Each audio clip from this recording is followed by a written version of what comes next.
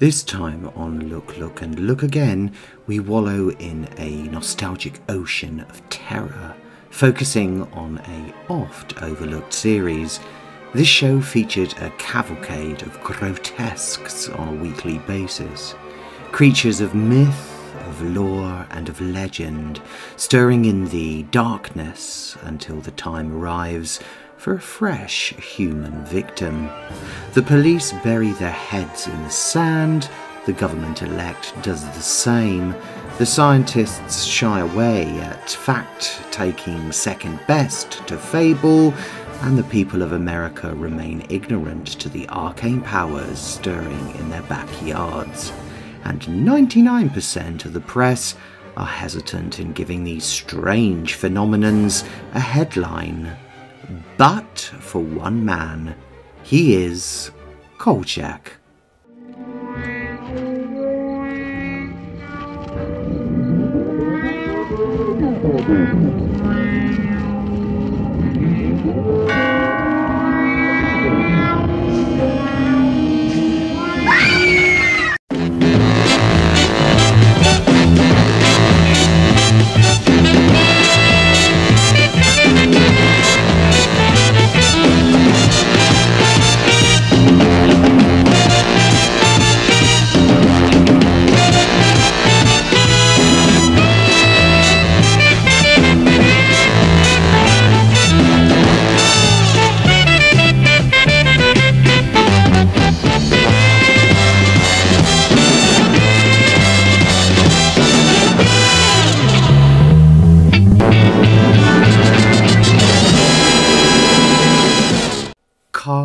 Kolchak is a story hunter, a reporter with the dexterity of sending out the most fantastic stories for his news business. The governments, as usual, do not want the public to know that demons, phantoms, and Martians are residing and propagating in 1970s America. Therefore, Kolchak will struggle to save the Earth week after week without ever landing that tricky, colossal headline, but like the trooper he is, he just carries on trying. That's the basis of the 1974 film called Kolchak Night Stalker.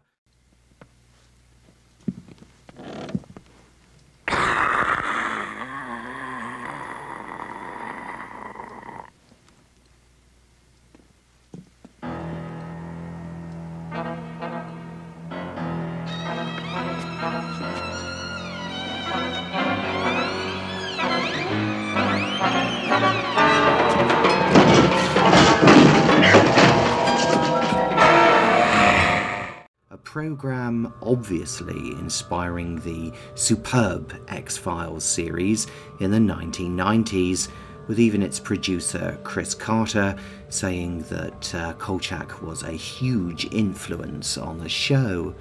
Kolchak surfaced from an unpublished 1970 paperback titled The Kolchak Papers and was penned by Jeff Rice. This led to a movie called The Night Stalker, which was a movie made for television.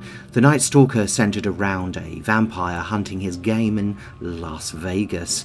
It was immensely favoured by the viewers and press alike, which emanated in a follow up called The Night Strangler, which is the macabre tale of an alchemist slaying women to make a youth serum in Seattle.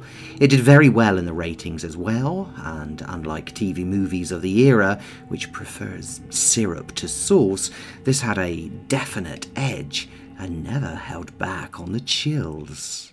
NBC tried to cash in on Kolchak's victory by making the prosaic Norliss tapes in 1973 a visual anecdote about zombies and archaic spirits.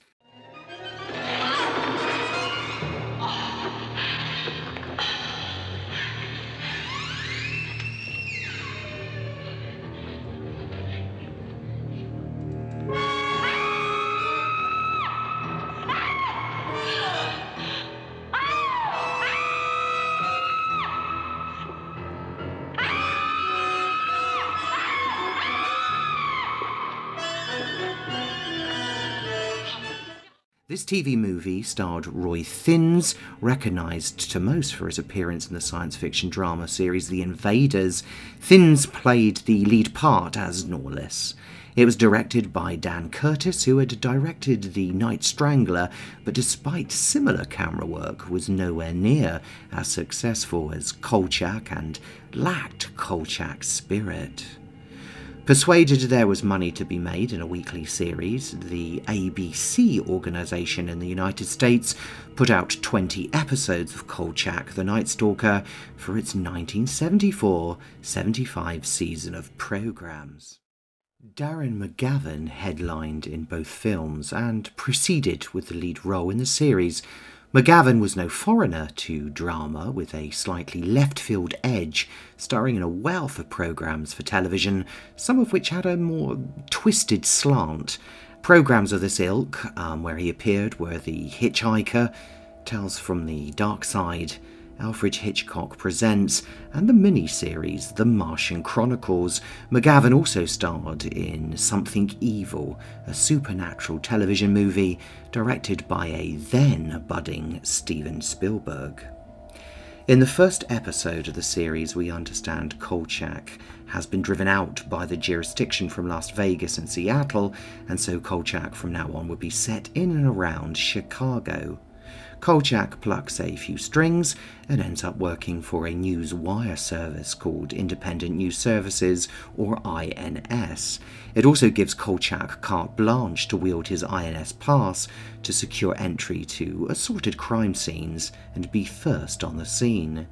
The only other relationship to the film's series was Kolchak's employer and bicker partner, the corpulent Tony Vincenzo, played wonderfully by Simon Oakland, who runs the INS.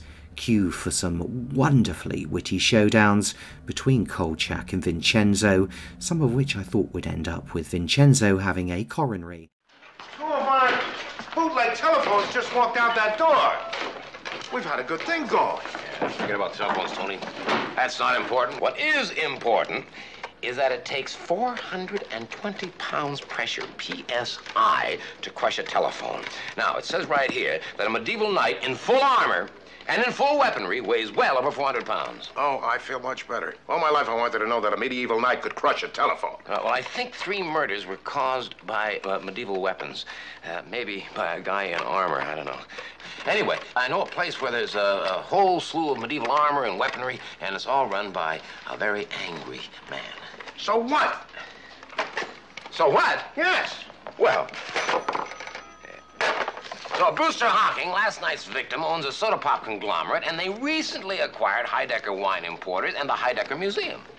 Huh? I didn't understand anything you just said. Don't worry about it, Tony. You will as soon as I get through talking with Minerva Musso. Minerva Musso. The interior decorator? You? Yes. We're thinking of brightening up the office. You are going to be replaced by a Boston Fern, and you a Snapdragon. Why do I always feel like I don't belong here? The other frequenters of the series are the earnestly anxious Ron Updike, portrayed by Jack Grinnage, and genial old Miss Emily, played by Ruth McDevitt, and she seems to be the exclusive person Kolchak implies he trusts, although this practically brings his downfall and demise in the story Horror in the Heights.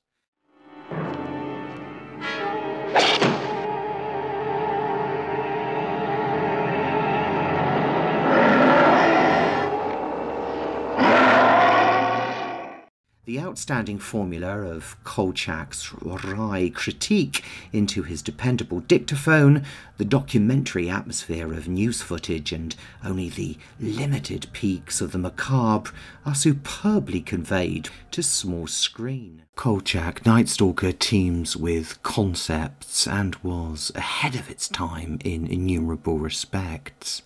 Humour doubtlessly stands up strongly and for the period was noteworthy to feature in a series of this kind. Kolchak yields some scintillating one liners, followed by many a droll occasion to grant that touch of comfort from the tautness of the storylines. And many of these are Kolchak's boss's belligerence of his dressed taste, which fits per- virtually iconic with the show and of the character. Kolchak always exhibits a blue and white striped suit, black tie, blue shirt, and white sneakers, topped off by a bargain basement straw hat, which Tony Vincenzo refers to as a bird feeder. In one story, Kolchak testifies he will put on a change of clothes, but he's dedicated to his work too often to squander time on doing such a chore. McGavin here is superb in the lead role. He comes across as a reporter with the sass and charm, but manages to poke us at times so we realise he isn't invulnerable and just as scared when the veil between this realm and another is ripped right open. The camera styles of overcast imagery and the handheld filming technique give this program a documentary earthiness, which was another developing style and um, very unexpected, practically unheard of in the 1970s. The special effects are used uh, uh, very Spartan, and this was to keep the aggregate low, and uh, the artistry itself works overtime. But on the summation, the results are remarkably well done. Such impressive scenes as a zombie lifting itself up in a camper van, the part of an edifice mutely exploding, and a passageway which convulses itself to fragments are very well pulled off. When Kolchak was repeated, and alas, like most shows that achieve popularity and end up for prime time consumption, Kolchak was censored for a targeted family crowd to reduce the horrific moments. Kolchak even commanded interest from the press due to its macabre undertone and, at times, genuinely blood curdling moments. Bravo for the producers and the TV station realizing that, contrary to popular belief, kids like being frightened too. Another interesting point to note are the guest stars that feature throughout the series, and uh, they're a fine fettle of performers from uh, favourites of the era, such as Richard Kiel. Now he appears here without the metal molars, this time his gargantuan proportions cropped up in the episodes uh, Bad Medicine and the Spanish Moss Murders. The original Wonder Woman, Cathy Lee Crosby, she crops up as the uh, youth killer, playing Helen of Troy nonetheless, as well as actor Tom Skerritt in the episode The Devil's Platform. You would like, more than anything, to have the Pulitzer Prize. Though publicly you scorn the very concept of awards, you would like more than anything else to get to New York and work on a major daily paper. You would even like a suede back chair at your desk. Not leather, suede. Such small ambitions, really. Your editor is Anthony Vincenzo. He frustrates you terribly.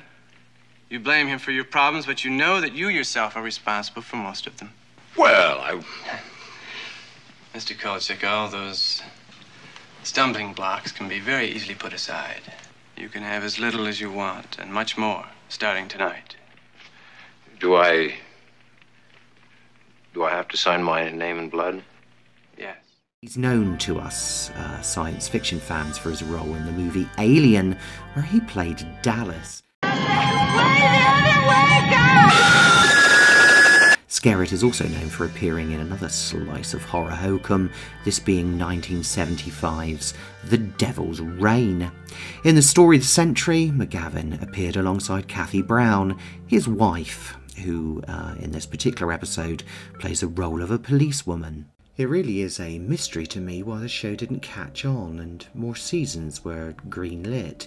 However, it may have to do something with Kolchak being primarily a horror show, and back then such a topic was either frowned upon and the subject matter thought too puerile, or on the other side of the coin, the subject matter was too taboo and put people off producing another season as the ratings of the programme and popularity proved trendy enough. The ratings were average, but the graveyard slot of 10pm for its transmissions didn't seem to help the show either.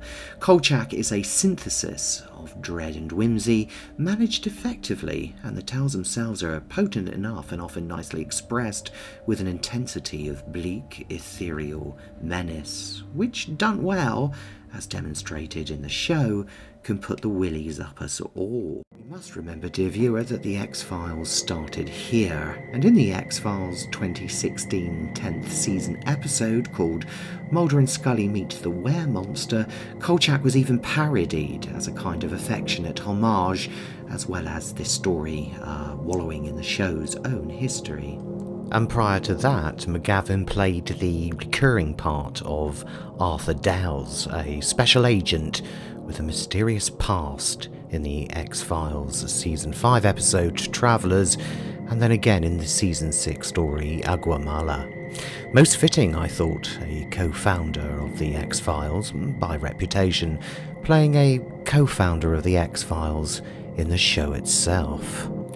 Poorly syndicated in the UK at first, cut for running time and censorship, and out of sync in terms of the running order of episodes compared to how it was initially broadcast, Kolchak did not fare too well when it was brought to the UK audiences in the early 1990s but then they were repeated again, and this time, and thankfully uncut second time around. Producer Dan Curtis, Richard Matheson, and McGavin all hinted in about 1992 that they would favour a potential contemporary remake to mark the show's 20th anniversary, but then this just fizzled out.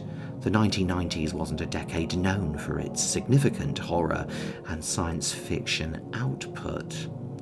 A resurgence happened in, in 2005 when a remake hit our screens starring Stuart Townsend in the lead role. But alas, this, in comparison to the original, had diluted the vodka for water and is, on the whole, a shadow of its former self, with only six out of the ten episodes that were made being broadcast but everyone's different, so you could always check it out and make up your own minds. The original series of Kolchak, The Night Stalker, is available on DVD, but a well deserved rescan onto Blu ray with a host of extras would be most welcome.